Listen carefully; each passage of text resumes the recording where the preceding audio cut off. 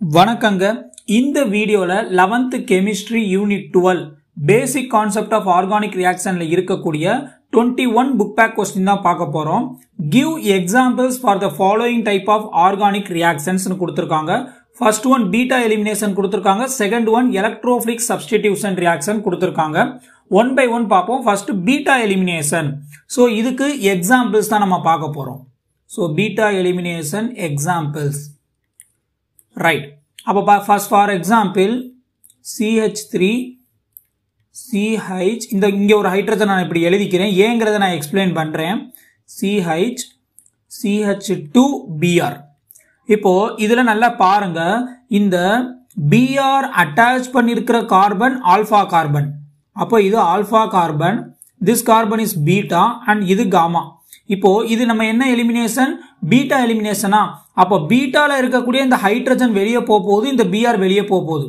என்ன ஆட் பண்ணால் வெளியே போகும்னா ஒரு ஆல்கஹாலிக் பேஸ் ஆட் பண்ணணும். ஆல்கஹாலிக் பேஸ் ஆட் பண்ணீங்க அப்படின்னா இப்போ என்ன நடக்குங்கிறத சொல்கிறேன் கரெக்டாக பாருங்கள் ஸோ இந்த ஹைட்ரஜன் பாண்டு இங்கே ஷிஃப்ட் ஆயிரும். இந்த பாண்டு பிஆருக்கு மேலே ஷிஃப்ட் ஆயிரும். அப்போ என்ன வந்துடும் உங்களுக்கு? So CH three single bond CH double bond CH two plus வேற என்ன வெளியே போகும் உங்களுக்கு?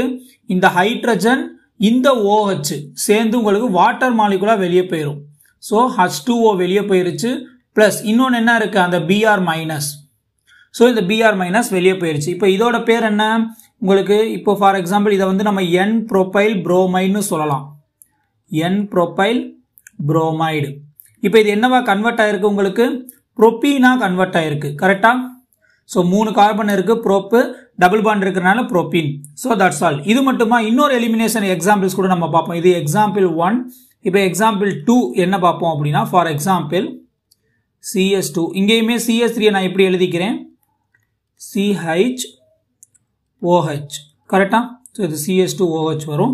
இப்போது இந்த ஆக்சிஜனில் ரெண்டு லோன் பேர் இருக்குது நல்லா கவனிச்சுக்கோங்க. ரொம்ப சிம்பிள் ஸோ என்ன ஆக போகுது அப்படின்னா இதில் நீங்கள் என்ன ஆட் பண்ண போறீங்கன்னா ஒரு ஹச் ப்ளஸ் ஆட் பண்ண போறீங்க. ஹச் ப்ளஸ் ஆட் பண்ணுற மூலிமா ஃபர்ஸ்ட் என்ன நடக்கும் அப்படின்னா இந்த லோன் பேர் ஆஃப் எலக்ட்ரான் இந்த ஹச் ப்ளஸை எடுத்துக்கிறோம். எடுத்துகிட்டு என்ன ஃபார்ம் ஆகும் உங்களுக்கு?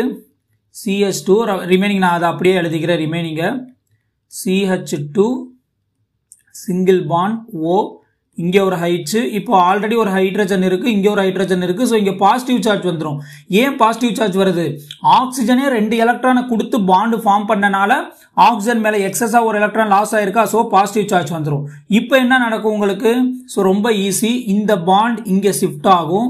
இந்த பாண்ட் இங்கே ஷிஃப்ட் ஆகும். அப்போ என்ன கிடைக்கும் உங்களுக்கு? CH two double bond CH two plus இந்த டேர்ம் இந்த டைம் அப்படியே வெளியே போனால் என்ன ஆயிரும் உங்களுக்கு? ஒரு வாட்டர் மாலிகுலாக கிடைக்கும். இப்போ ஸ்டார்டிங் என்ன எடுத்திருக்கீங்க? ஒரு எத்தனால் எடுத்திருக்கீங்க. இப்போ கடைசி உங்களுக்கு என்ன கிடச்சிருக்கு? ஈத்தீன் கிடச்சிருக்கு. இதை நம்ம எத்திலின்னு கூட சொல்லலாம்.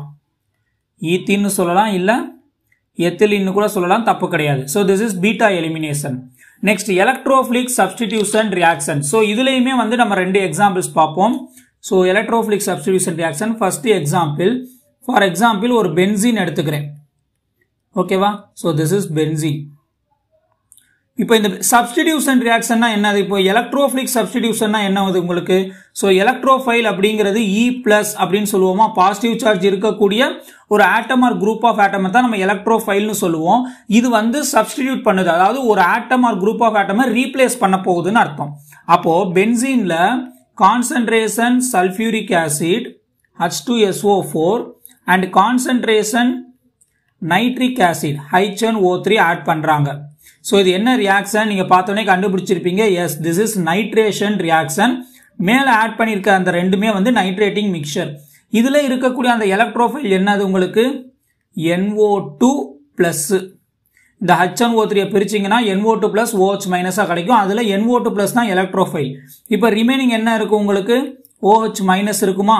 இப்போ என்ன நடக்க போகுதுன்னா இந்த ஹைட்ரஜன் இந்த ஓஹெச் மைனஸ் கூட சேர்ந்து வெளியே போயிடும் இந்த நைட்ரஜன் போய் இந்த கார்பனில் உட்காந்துரும் அப்போ ஃபைனல் ப்ராடக்ட் என்ன கிடைக்கும் உங்களுக்கு?